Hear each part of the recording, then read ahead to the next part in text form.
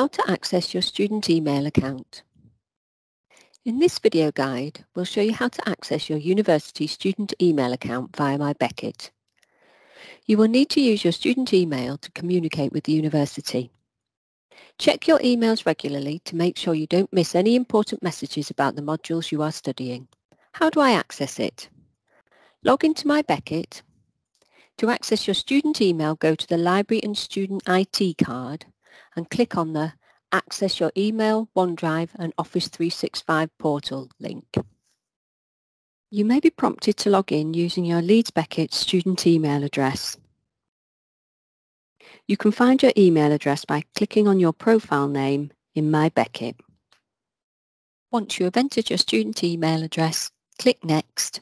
This should log you into the Microsoft Office website.